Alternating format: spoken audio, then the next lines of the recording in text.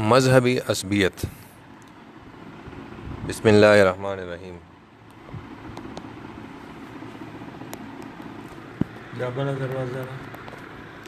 आओ जी। मजहबी असबियत से यहाँ मुराद फ़िका के मुख्तलिफ़ मकातब फ़िक्र से ताल्लुक़ रखने वाले लोगों का बाहमी तसब है। इस तसब की बुनियाद हक़ पर नहीं है बल्कि नफ्स की ख्वाहिशात पर है। लोग अपने मुखालफन से नफ़रत करते हैं और उन्हें हकारत की नज़र से देखते हैं। ये एक ऐसी आफत है जो आबिद व फासिक हर शख्स को मुबतला हलाकत कर देती है। लोगों को नुकता चीनी एबजूई करना, सबई सिफ़ात से ताल्लुक़ रखने वाली एक तिब्बी सिफत है। दरिंदे सब सब सब चीड़ पाड़, चेटम जनावर कई था ना। मरेश शर्मश देता सब लोगों को नुकता चीनी एबजोई करना सबई सिफ़ात से ताल्लुक़ रखने वाली एक तिब्बी सिफत है। जब शैतान इस मजमूम सिफत को महमूद बनाकर पेश करता है तो तबाया जो पहले ही से उससे करीब होती हैं, ये सिफत अपना लेती हैं और आदमी पूरी तंदही के साथ इस मशगले में लग जाता है और इस ख्याल से खुश रहता है कि मैं किसी दीनी जदोजहद में मसरूफ़ हूँ। हालाँकि वो शैतान की इतबा में लगा हुआ है। पंजाब के बरेली और सुनी दगा सरे देवबंदी दगा यो जुमात द बरेलियान ख्वाटे और सा देवबंदियान यो बलते लोड फीटर लड़बोली दही आई पसे आई दही पसे। मोहब्बत के लिए इतबा लाजिम है। मजहबी और ग्रोही अख्तलाफ़ात का आलम यह है कि एक शख्स हज़रत अबू बकर सिद्दीक़ रज़ी अल्लाह की मोहब्बत में तसब का रंग इख्तियार किए हुए है, मगर उसकी ये मोहब्बत पाकिज़ा नहीं है, बल्कि इसमें हराम, झूठ आइनात और फसाद की आमेज़श है। ऐसे शख्स को अगर हज़रत अबू बकर रज़ी अल्लाह देख लें तो अपना दोस्त समझने की बजाय दुश्मन करार दें। इसलिए कि उनका दोस्त तो वो है जो उनकी राह पर चलता हो उनकी सीरत व किरदार को अपने लिए नमूना अमल बनाता हो और ज़ुबान को लघ कलाम से रोकता हो। हज़रत अबू बकर रज़ी अल्लाह का उसवा यह था कि वो अपने मुँह में ज़ुबान बंद रखने के लिए कंकरी डाल लिया करते थे। इस फजूल, उस फजूल और लगो को क्या हक़ हासिल है कि वो हज़रत अबू बकर सिद्दीक़ रज़ी अल्लाह से अपनी मोहब्बत और दोस्ती का दावा करता फिरे। दूसरी मिसाल। दूसरा शख्स हज़रत अली रज़ी अल्लाह की मोहब्बत में मुबालगा की तमाम हदूद को तजावज़ कर गया है।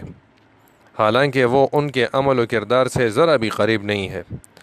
हज़रत अली करमल्ला वजह ने अपने दौर खिलाफत में एक दरहम से भी कम कीमत का लिबास पहना है, जबकि उनकी मोहब्बत का झूठा मुद्दई फासिक रेशमी कपड़ों से अपने बदन को सजाए फिर रहा है और वो कपड़े हराम माल से बनाए गए। क़यामत के रोज़, क़यामत के रोज़, हज़रत अली रज़ी अल्लाह से अपना, क़यामत के रोज़, हज़रत अली रज़ी अल्लाह उसे अपना दोस्त नहीं, दुश्मन तस्वर करेंगे। क्या किसी ऐसे शख्स को अपने दावा, दोस्ती में, क्या किसी ऐसे शख्स को अपने दावा, दोस्ती में सच्चा करार दिया जा सकता है, जो अपने दोस्त के लखते जिगर को अपने घर ले जाए और उसे खूब मारे पीटे? उसके बाल नोचे और बदन को ज़ख्मों से छलनी कर दे और उसके बावजूद ये दावा करता रहे कि मैं उस बच्चे के बाप का मुखलिस दोस्त हूँ। मुझे इससे बड़ी मोहब्बत है। यही हाल उन लोगों का है जो खलफ़ा अरबा और सहाब कराम रज़वान मजमाइन से मोहब्बत का दावा करते हैं और दीन की बेहकुनी में मसरूफ़ हैं। हालाँकि दीन उनकी अज़ीज़ तरीन मता थी। वो दीन को अपने जान, माल, अहल आयाल हर चीज़ पर तरजीह देते थे। ये शरीयत के मुजरम शहवात की कैंचियों से शरीयत के टुकड़े टुकड़े करते हैं। सहाबा कराम की मोहब्बत का दम भरते हैं और हकीकत में अल्लाह ताला और उसके दोस्तों के मुश्तरक दुश्मन शैतान लाइन की इतबा करते हैं। ये हकीकत क़यामत के रोज़ वाज होगी जब उन्हें, उनके दोस्तों के सामने अजाब दिया जाएगा। क़यामत की बात तो रहने दीजिए अगर इन मुद्दयान मोहब्बत को दुनिया ही में ये पता चल जाए कि सहाब कराम उनके मुतल क्या ख्याल रखते हैं और उन्हें किस तरह के लोग पसंद हैं तो वो अपना हाल देख कर शर्म से पानी पानी हो जाए और आइंदा के लिए इन बुज़ुर्गों के पकीज़ा नाम अपनी गंदी ज़ुबान पर लाने की ज़रूरत भी न करें। ज़बरदस्त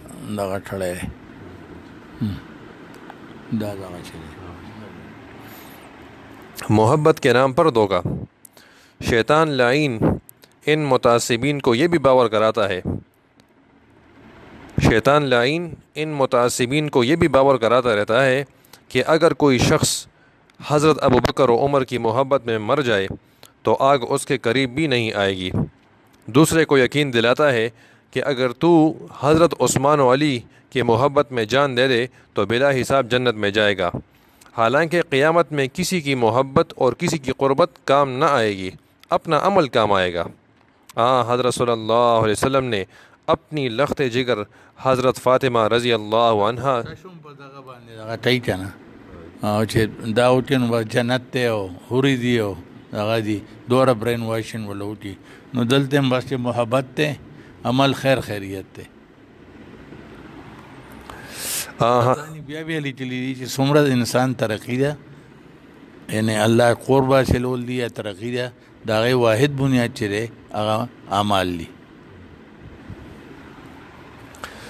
हाँ हज़रत सल्लल्लाहु अलैहि वसल्लम ने अपनी लख्त जिगर हज़रत फ़ातिमा रज़ी अल्लाह अन्हा से फ़रमाया था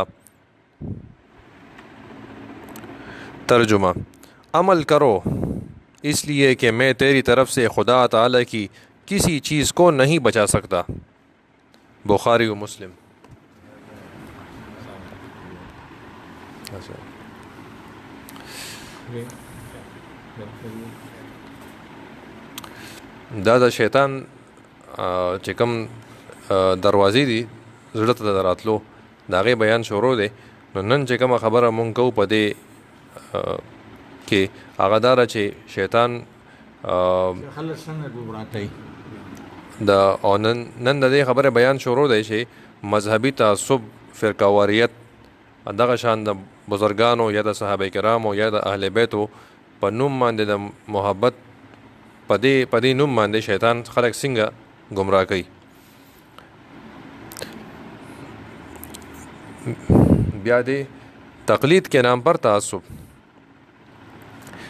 ये हवाए नफसानी की एक मिसाल है जो हमने ज़िक्र की यही हुक्म उन लोगों का है जो आइम मज़ाहिब शाफ़ी अबू हनीफ़ा मालिक और अहमद रहमहुल्लाह वग़ैरह के लिए तआस्सुब रखते हैं और इस तआस्सुब में इस हद तक आगे बढ़ जाते हैं कि दूसरे अइम्मा की तहक़ीर लाजिम आती है। हर शख्स अपने इमाम की हक़ानियत का दावेदार है, लेकिन उनकी सीरत का अतबा नहीं करता। क़यामत के रोज़ ये अइम्मा अपने इन झूठे दावेदारों से पूछेंगे कि हमारा मज़हब अमल था, कौल नहीं था। कौल भी अमल के लिए था। फिर क्या वजह है कि तुमने कौल को अहमियत दी और अमल से एराज़ किया? तुमने हमारे अमल, हमारी सीरत और किरदार की मुखालफत की और हमारे मज़हब की तकलीद का झूठा दावा करते रहे। क़यामत के रोज़ ये अइम्मा अपने उन झूठे दावेदारों से पूछेंगे कि हमारा मज़हब अमल था, कौल नहीं था। कौल भी अमल के लिए था। फिर क्या वजह है कि तुमने कौल को अहमियत दी और अमल से अगराज किया? तुमने हमारे अमल, हमारी सीरत व किरदार की मुखालफत की और हमारे मज़हब की तकलीद का झूठा दावा करते रहे। ये एक ज़बरदस्त शैतानी मुदखल और उसका, और उसकी आमद का बड़ा रास्ता है। बहुत से उलमा इस राह के शैतान के हाथों हलाकत तक पहुँचे। ये वो लोग हैं जिन्हें खुदा का खौफ नहीं है, जो दुनिया की हिरस और रगबत रखते हैं। उनकी दीनी बसीरत कमज़ोर है। इत्तबा में अखलास की बजाय लोगों की अकीदत व एहतराम हासिल करने का जज्बा है।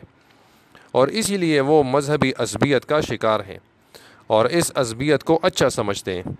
उन्हें ख़बर नहीं कि ये असबियत शैतानी अमल है, लेकिन अफसोस, ये लोग शैतान की फरेबकारियों से वाकिफ़ नहीं हैं, बल्कि उसकी तदाबीर की आमली तनफीज़ में मसरूफ़ हैं। आम लोग की तकलीद करने लगे हैं।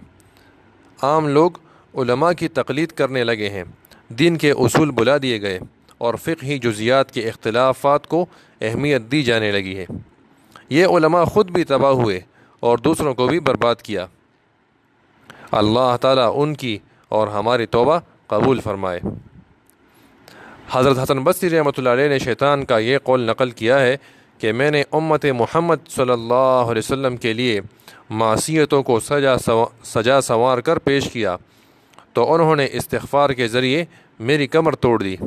इसके बाद मैंने ऐसे गुनाह को आरस्ता किए, जिनसे वो अल्लाह ताला से इस्तफ़ार नहीं करते। ये गुनाह ख्वाहिशात नफसानी है। शैतान ने सच कहा है, लोगों को इन अमूर में ये मालूम ही नहीं होता। और डुलाई पागे इसरार हुई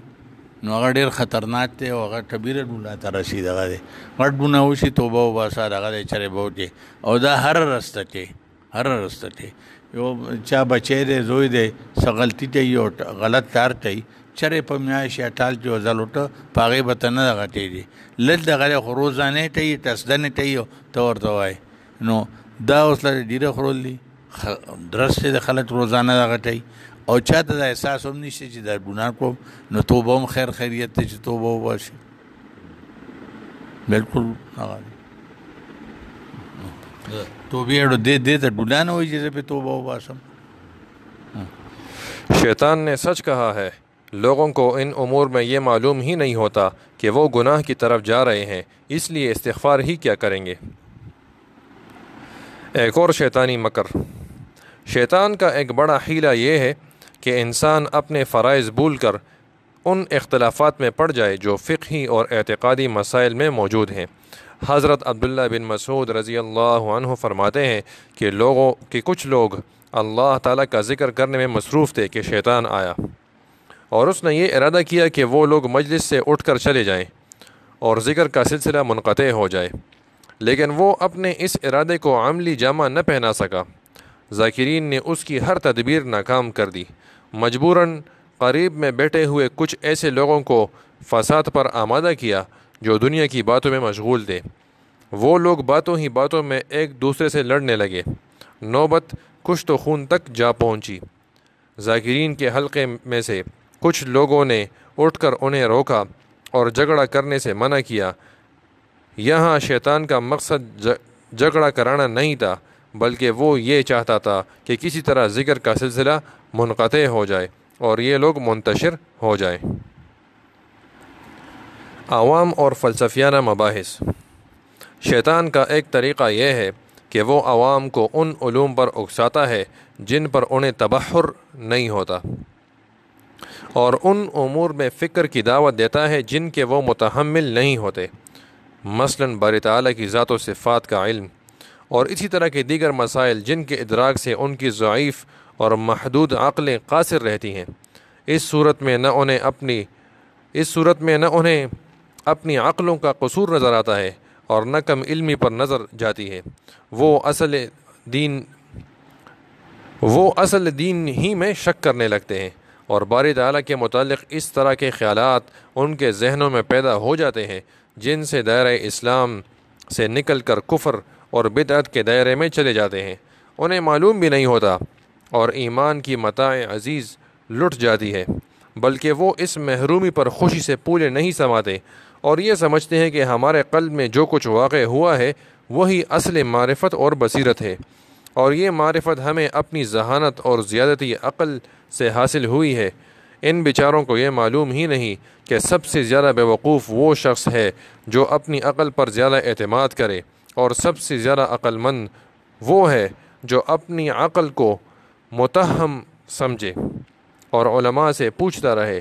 हज़रत आयशा रज़ी अल्लाह सर हाँ, वहम पर दगाई छे वह खबर दी जमाना खबर टिकता टे गलत रहा नो उलमा ने तपोस रही हज़रत आयशा रज़ी अल्लाह सरकार दोआलम सल्लल्लाहु अलैहि वसल्लम का ये इरशाद नकल करती हैं।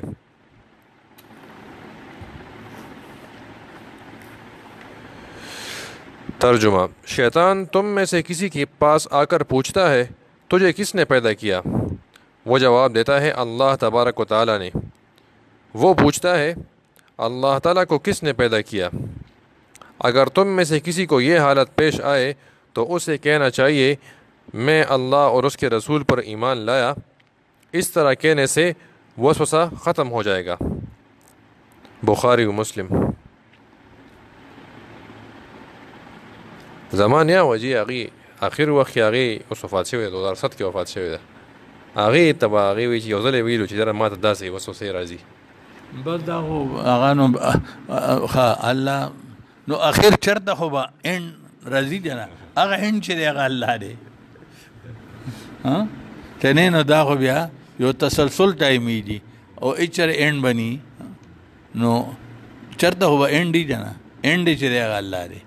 अबद खबर रचे लाहौल याऊज़ बिल्लामिन शतवानजीम याऊज़ बिल्ला समी अलीमिन शतवानजीम दग इलाज दे। हाँ।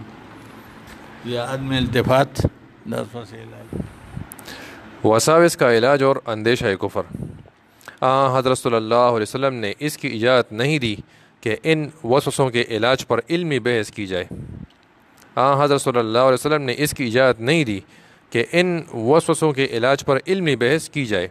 इसलिए कि वसवसे आवाम को होते हैं, उलमा को नहीं।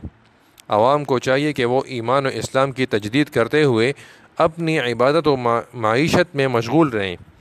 इलम को उलमा के लिए छोड़ दें।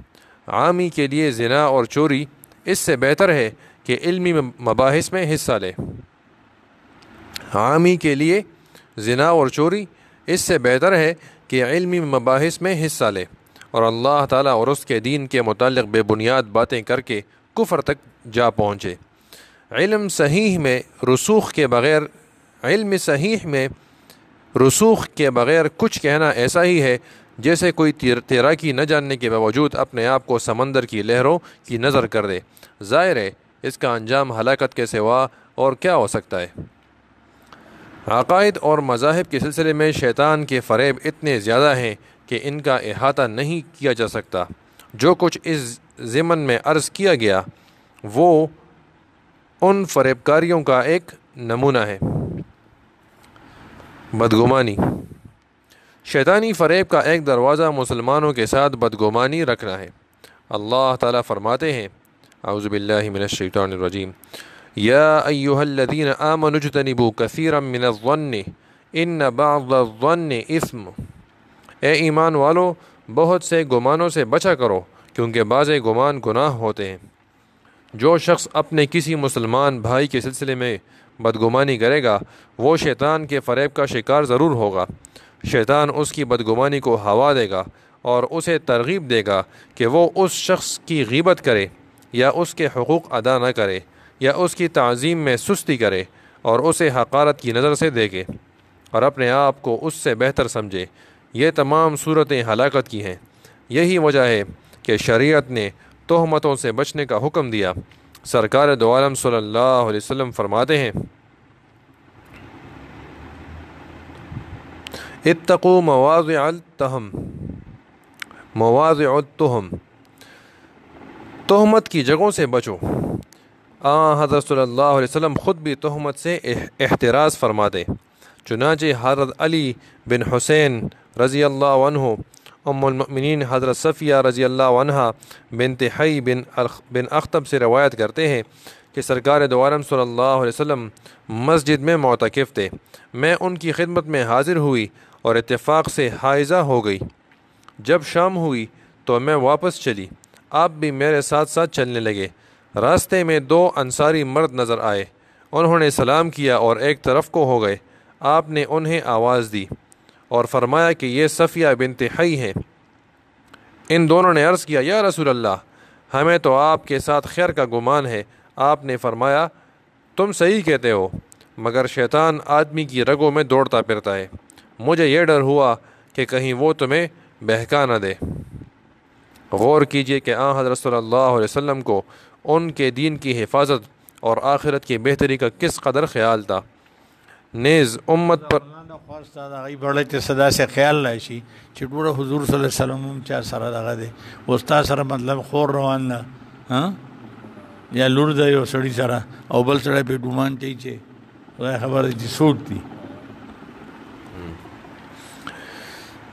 गौर कीजिए कि हज़रत सल्लल्लाहु अलैहि वसल्लम को उनके दीन की हिफाजत और आखिरत की बेहतरी का किस कदर ख्याल था? नेज़ उम्मत नेज़ उम्मत पर किस कदर शफकत फरमाई कि उन्हें तोहमत से बचने का तरीक़ा बतलाया? और ये बतलाया कि उस आलिम को भी अपने अहवाल पर तसाहुल न करना चाहिए जो तकवा और इतबा शरीयत में मसरू मा, मारूफ़ हो। उसे यह न समझना चाहिए कि लोग मुझसे बदगुमानी नहीं करेंगे। बल्कि अच्छा गुमान रखेंगे। आदमी कितना ही साहिब इल्म और साहिब तकवा क्यों ना हो। लोग उसे एक नज़र से नहीं देखते। कुछ लोग उसे अच्छा समझते हैं और कुछ बुरा जानते हैं। बल्कि बुरा समझने वालों की तादाद अच्छा समझने वालों से ज़्यादा होती है। एक शायर कहता है वैन रज़ान कुल बिन कलीला, वलाकिन आन सख्त तबदिल मसाविया।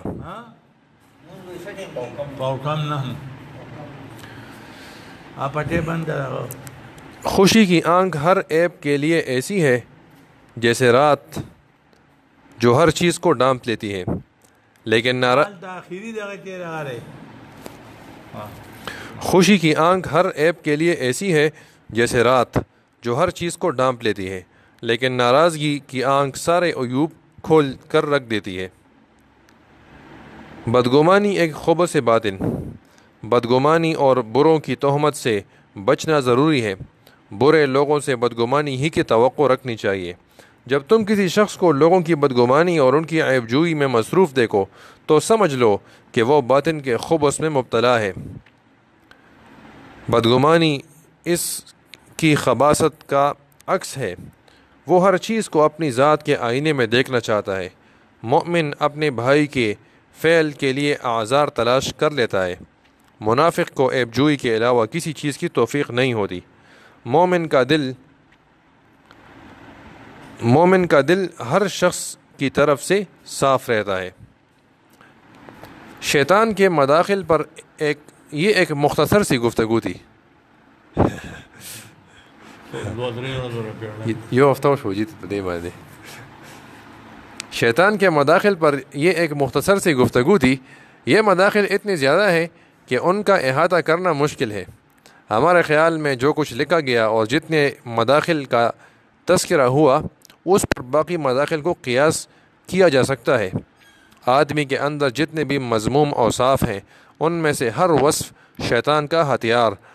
और उसके दरवाज़ों में से एक दरवाज़ा है। शैतान से बचने का रास्ता। हम लोग बच्ची हाँ। यहाँ ये सवाल किया जा सकता है कि शैतान का इलाज क्या है? क्या उससे बचने के लिए अल्लाह का ज़िक्र करना और ये कहना काफ़ी है लाहौलवत बिल्ला जानना चाहिए कि कल्ब का इलाज सिर्फ़ उसी सूरत से मुमकिन है कि उन तमाम दरवाज़ों को बंद कर दिया जाए, जिनके ज़रिए शैतान कल्ब के अंदर दाखिल होकर उसे आलूदा करता है। यानी दिल को तमाम मजमूम सिफ़ात से पाक व साफ़ कर दिया जाए। मजमूम और साफ़ से कल्ब की ततहीर एक तवील मौजू है। अहियालूम की तीसरी जल्द का मकसद ही यही है कि हम उन महलिक सिफ़ात का इलाज बतलाएँ, लेकिन चूँकि हर सिफत की, लेकिन चूँकि हर सिफत एक मुस्तकिल बाब की मोहताज है। जैसा कि आइंदा के सफ़ात में आप देखेंगे, इसलिए यहाँ सिर्फ़ इतना बयान किए देते हैं कि अगर कल्ब उन मजमूम औसाफ के असूल से पाक हो जाए तो फिर शैतान को दिल के अंदर कदम जमाने का मौका नहीं मिलता। ज़्यादा से ज़्यादा इतना कर सकता है कि आएगा और गुज़र जाएगा। अल्लाह का ज़िक्र उसकी राह में रुकावट बन जाता है। अल्लाह का ज़िक्र दिल पर उसी वक़्त असरानंदाज होता है जब वो तकवा के नूर से मुनवर और मजमूम और साफ़ की आलूदगी से पाक हो। अगर ऐसा ना हो, अगर ऐसा ना हो तो ज़िक्र महज कल्ब का वारद या ख्याल समझा जाएगा। अल्लाह का ज़िक्र दिल पर उसी वक़्त असरानंदाज होता है जब वो तकवा के नूर से मुनवर और मजमूम औसाफ की आलूदगी से पाक हो। अगर ऐसा ना हो तो ज़िक्र महज कल्ब का वारद या ख्याल समझा जाएगा। उसे दिल पर इकतदार हासिल नहीं होगा। इसलिए तकवा और तस्किए से महरूम दिल का ज़िक्र शैतान के इकतदार के लिए रुकावट नहीं बनता। वो बहुत आसानी के साथ दिल की बिसात पर कब्ज़ा जमा लेता है। बारी ताला का इरशाद है इन लजीन तक़ो इज़ा मसहम तोफ़मिनशैतवानी तज़क्रू फ़ैज़ा हम मुबसरून जो लोग अल्लाह से डरते हैं जब उनको कोई ख़तरा शैतान की तरफ़ से आ जाता है तो वो याद में लग जाते हैं सोयकायक उनकी आँखें खुल जाती हैं इस आयत में मुत्तकी की तखसीस कर दी गई शैतान की मिसाल शैतान की मिसाल भूखे कुत्ते की सी है अगर तुम्हारे पास रोटी या गोश्त वगैरह ना हो तो तुम उसे दुत्कार कर, दूर कर सकते हो। लेकिन अगर तुम्हारे हाथ में गोश्त हो और वो भूखा भी हो तो दुत्कार तो दुत्कारने से हरगिज़ न जाएगा, बल्कि गोश्त पर ज़रूर पड़ेगा। शैतान उस दिल से मेज़ एक डांट सुनकर भाग जाता है, जहाँ उसकी गज़ा का सामान नहीं होता, लेकिन जिन दिलों में उसकी गज़ा मौजूद होती है, वो उन पर हमला ज़रूर करता है। ज़ुबान से झड़कना उसके लिए काफ़ी नहीं होता। जिस दिल पर शहवत गालिब होती है, वो ज़िक्र की हकीकत को अंदर तक नहीं आने देती। और इस तरह दिल शैतान का मुस्तकर बन जाता है। मौलाना साहब फरमायल कि शैतान पर काफिरानों बांधे, वक्त न ज़ाय थी हाँ? अल्ता सो नहीं हो